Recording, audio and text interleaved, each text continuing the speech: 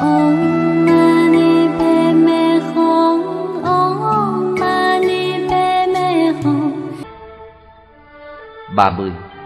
qua thượng giảng vào tháng Giêng năm 1983. Khi tôi còn trẻ, tôi rất thích thi đấu pháp thuật với ma quỷ. Tôi đấu với bọn chúng cho đến khi toàn bộ quân ma ở khắp nơi họp thành bè lũ đến để đánh với tôi. Tôi gần như nhiều lần bị mất mạng với bọn nó. Vì vậy, sau này dù tôi có quá thích đánh nhau với chúng mấy đi nữa, tôi cũng không dám dùng pháp thuật để đấu với nó nữa. Có rất nhiều loại ma quỷ đến ức hiếp bắt nạt tôi, nhưng tôi luôn luôn thực hành hành kiên nhẫn, chịu đựng, không biểu hiện sự đối trị nào. Tôi chi phối nó chỉ bằng lòng từ bi, cảm hóa nó thay vì hàng phục nó bằng pháp hàng phục. Tôi nhớ một hôm tại hội đạo đức ở Mãn Châu, chủ nhiệm khoa giảng dạy là từ Quế Lan. Có từ 50 đến 60 học sinh trong hội đạo đức này và một trong số đó bị ma gá. Cô từ Quế Lan nghĩ rằng với thẩm quyền của một vị chủ nhiệm khoa giảng dạy, cô có thể trừ dẹp được tà ma. Cô phun một ngụm nước lạnh vào cô bé bị ma gá, nhưng ma không đi, mà nói Được rồi, cô muốn trừ dẹp tôi, thế thì tôi sẽ gá cô thay thế, xem cô làm gì được tôi nào. Cô bé bị gá liền khỏi bệnh và từ Quế Lan liền bị ma gá vào. Trước đó, Quả Hồng nói rằng ông ta đã dùng phương pháp trì chú và trong nước rồi phun vào người bị ma gá. Người ấy được khỏi bệnh. Có lẽ loài ma quỷ gá vào người ấy thế lực chưa được mạnh lắm nên nó thả ra. Nhưng loài quỷ đang gá vào từ Quế Lan thì không sợ bị phun bởi nước lạnh. Nó chẳng ngán tí nào cả. Từ đó, từ Quế Lan bắt đầu phát ra ma khí. Vậy nên cô ta không thể làm việc ở hội đạo đức nữa, phải trở về nhà.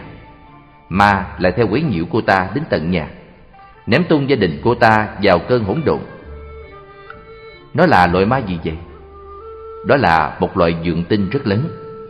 Khi nó đến, nó giao hợp với từ Quế Lan, nó chiếm đoạt thân xác và hành hạ cô ta. Đôi khi nó mê hoặc cô đến mức cô biểu lộ ra lời nói yêu đương say đắm với nó. Thế nhưng chỉ là tình dục mà thôi.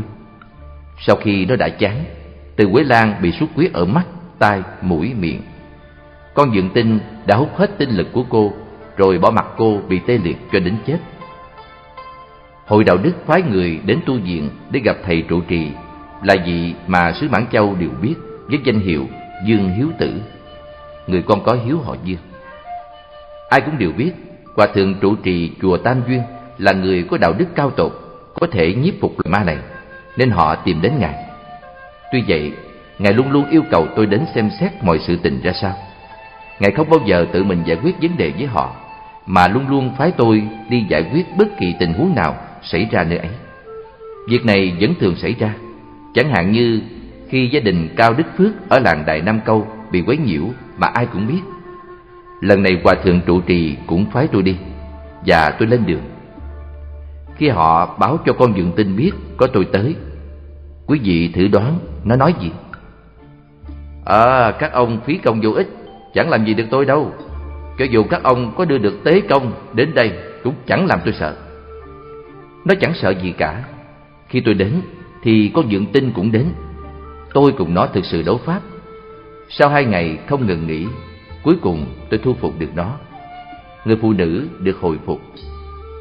Tôi đã trải qua quá nhiều tình huống như thế. Tôi chẳng muốn dính vào chuyện thế gian nhiều.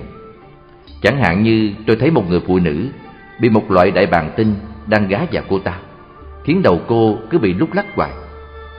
Tôi không có dự tính sẽ làm gì về chuyện ấy cả. Vì sao? Vì tôi đang tu tập hành nhẫn nhục. Ngay cả dù có ai đại tiền trên đầu tôi, tôi cũng sẽ nhận chịu mà không hề nóng giận.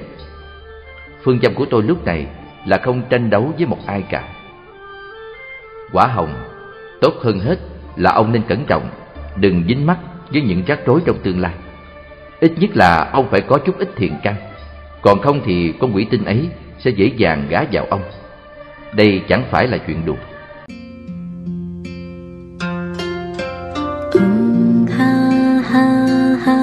问什么的说